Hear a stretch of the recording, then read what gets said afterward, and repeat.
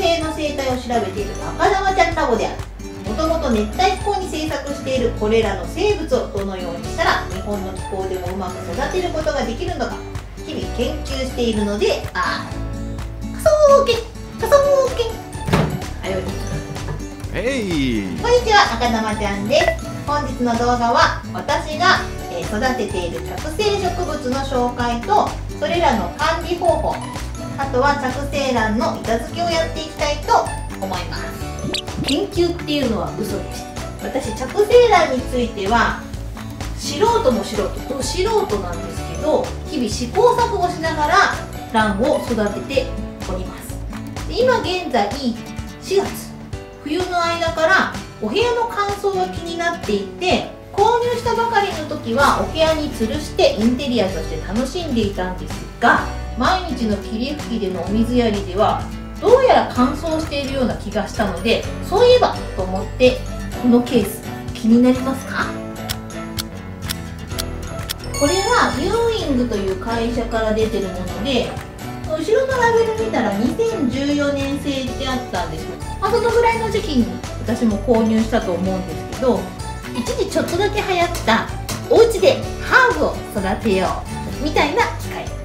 この機械はこのケースの天井に植物育成用の LED が設置されていて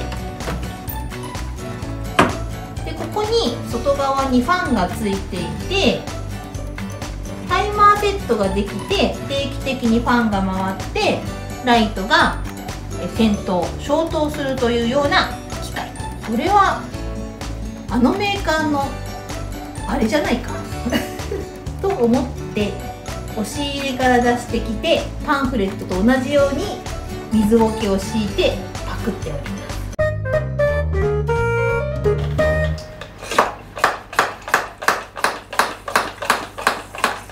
でどのように管理しているかというと、まあ、このようにシューッと毎日霧吹きとあと週に1回ぐらいやるかやらないかぐらいですけどボウルに水を張ってチャポンと。ちょっと数分つけてしっかりと根っこに水を吸わせるというやり方をとっています。手探りなので本当にこれで大丈夫かどうかは不確かなのでこんなやり方があるよとか週にこのぐらいの回数で私は水やりをしてますとかご存知の方とかいらっしゃったらコメント欄でぜひ教えてください。これらの植物ですが先日東京ドームで行われた世界ランで購入してきた着生卵というものでこういった木にすでに張り付いて育っている卵の種類たちです。最近ではインテリアとして人気が出てきて多くのお花屋さんなんかにも置いてあるかと思います。でこれはデンドロビウムケントロフィウムという種類だそうです。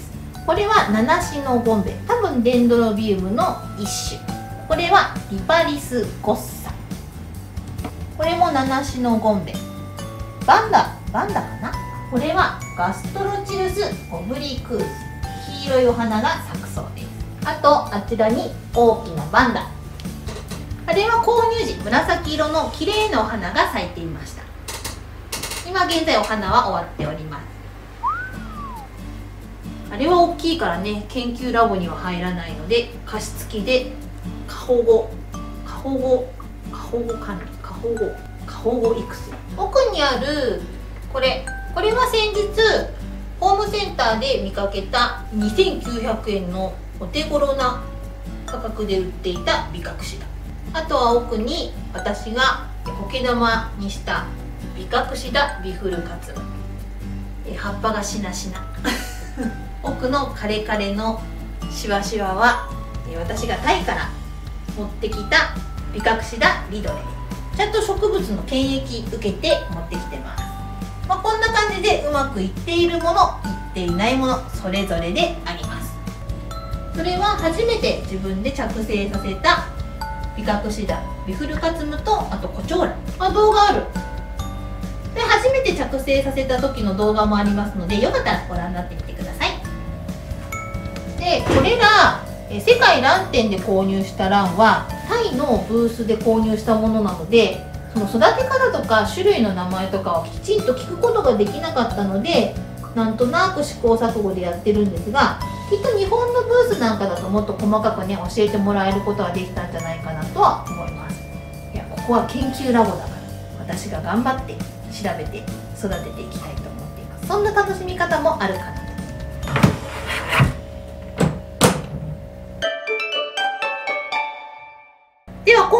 本題。先日購入したこのテラプレートに早速ランを着生させていきたいと思います。これは ADA のドゥアから出ている商品です。最近パルダリウムの商品が続々と出ている ADA でこのテラプレートとこれをかけるフックこれは別売りになります。ADA 特約店で購入することができます。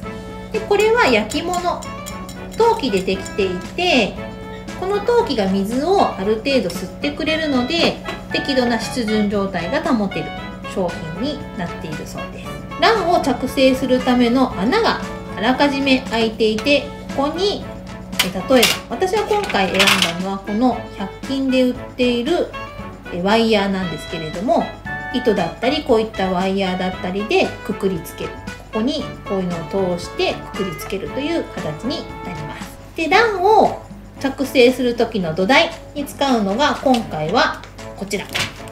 生水ゴケ。これは最近仲良くしていただいているお友達からいただいたものです。生水ゴケはこういう緑色のところからまた成長していくそうなのでこれもまた成長が楽しみ増えていくのが楽しみなものです。生水ゴケという存在を初めて知ったのでよく知らないんですけれども、ま、成長していく生水ん？生水ゴケっていうぐらいなので生きた植物ってことですね。これを卵を固定する土台に使いたいと思います。で今回購入した卵はこれはチャームさんで頼んだ卵ですね。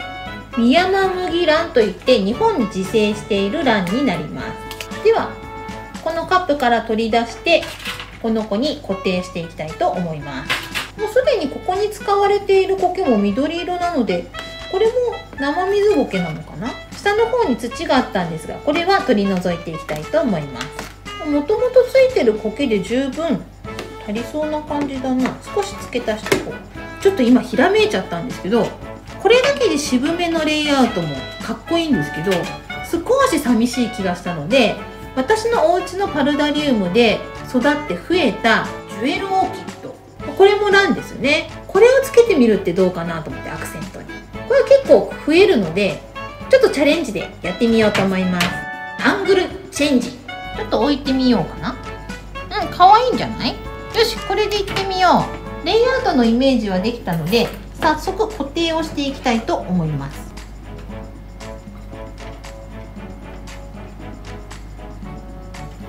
ちょっと切るか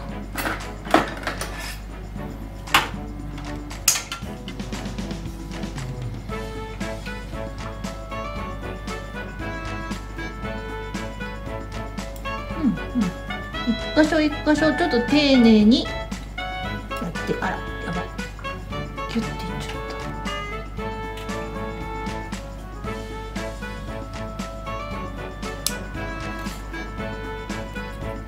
たうんだあれ硬いあれ水拭きを追加しながらこの下の方にジュエルオーキッドを置いてみよう。うん可愛いんじゃない？硬いな。あれ折れちゃう。うん大丈夫。はいこれで完成。どうかな？後ろはこんな感じで不格好だけど。まあ見えないから。いいでしょう。まあこんな感じでちょっと1種類だと寂しかったのでお家で育ててた、えー、ジュエルオーキッドもちょこっとだけちっちゃい株配置してみました。どうでしょうか、まあ、これも同じように霧吹きで毎日お水を与えてあげるのとこれの場合は水苔が乾燥したらちょっとちょこんと水につけてあげるような感じにしようかなと思っています。結局ここに飾ってあげることにします。流木との相性がバッチリですね。ということで本日も最後までご視聴いただきありがとうございました。皆さんステイホームなんでぜひアクアリウムや植物お家で楽しみましょう。ということで本日のスイーツはドライブスルーで買ってきたドトールのベイクドチーズケーキ。いただきます。ステイホームで太ってきたのでスイーツやめてたんですけど1週間で解禁。うんうまっそれではまた別の動画でお会いしましょう。